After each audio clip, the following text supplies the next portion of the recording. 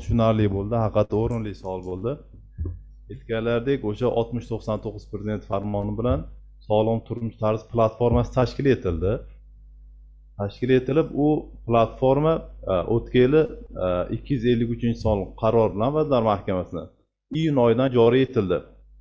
E, hozirgi kunda ushbu platformani yanada takomillashtirish maqsadida keyin o'rta va yuqori qatlamli fuqarolar yana jalb qilish maqsadida ommaviylashtirish maqsadida hozir qaror loyihasi qilinyapti.